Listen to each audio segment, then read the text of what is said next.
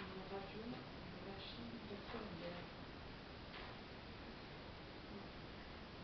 Alors, alors, je vais vous dire que malheureusement, j'ai malheureusement des exigences parce que je bosse.